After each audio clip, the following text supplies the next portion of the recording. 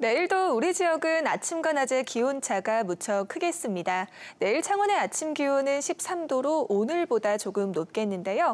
한낮에는 북서쪽에서 찬 공기가 남하하면서 낮 최고 기온이 21도에 그치는 등 예년 수준을 웃돌겠습니다.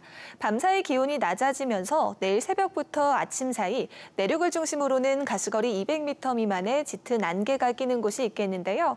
차량 운행 시 교통안전에 각별한 유의가 필요하겠습니다. 한편 한편 오늘 밤한때 서부 내륙 곳곳으로 0.1mm 미만의 빗방울이 떨어지는 곳이 있겠습니다. 자세한 지역별 기온 살펴보겠습니다. 내일 아침 창원이 13도, 함안이 10도 예상됩니다. 한낮에는 창원이 21도, 의령이 22도로 오늘보다 3에서 4도가량 낮겠습니다. 서부 지역도 진주가 9도, 합천이 11도로 출발하는 아침이겠고요. 한낮에는 진주가 21도, 거창 19도 예상됩니다. 바다의 물결은 동해남부 먼 앞바다에서 최고 3.5m로 매우 높게 일겠습니다. 당분간 맑은 하늘에 기온은 다시 점차 낮아지겠고 아침과 낮의 기온차가 10도 이상으로 무척 크겠습니다. 날씨였습니다.